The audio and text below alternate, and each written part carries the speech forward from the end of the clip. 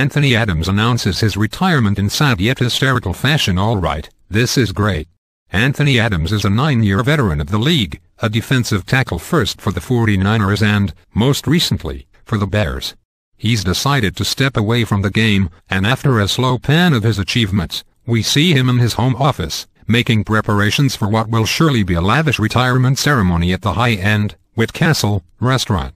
What follows is, well, you will have to watch, but it's fun stuff.